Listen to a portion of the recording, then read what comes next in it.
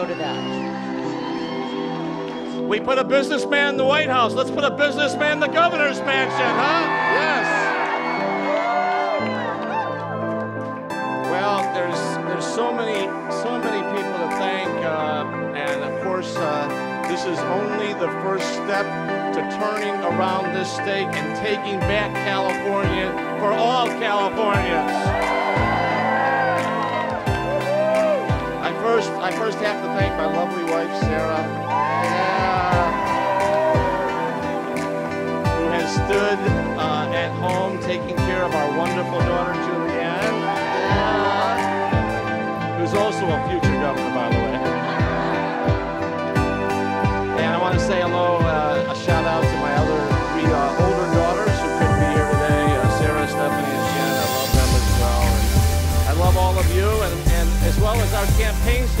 staff, Johnson, our senior strategist, and Tim Rosales, our campaign manager.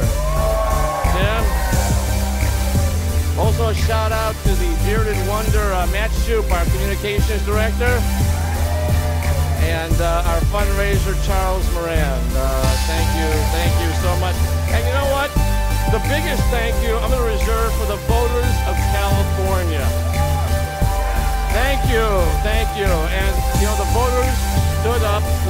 special interests of this state who are trying to take this state down with them. We are not going to let them, are we? You know, the last six weeks, the special interest money, the corruptive nature of that was on full display for all Californians.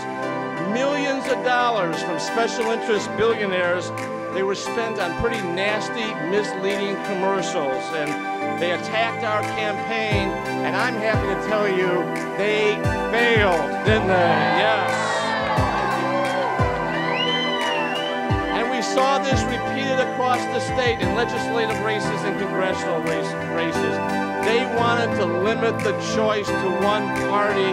Well, I'm telling you, one party in Sacramento, one party rule Sacramento is bad enough, but one party election is just plain un-American. So I want to thank the people of California for standing up against the effort to manipulate our electoral system. And I also want to thank them for sending a message that we want to have a clear choice for the future of California in November. I to Gavin Newsom, but let me just take a moment to send him another message. Mr. Mr. Newsom, Mr. Newsom made it clear that he wanted to, to run against me instead of another Democrat. Well, as I told him in San Jose at the debate, be careful, Mr. Newsom. Be careful for what you wish for.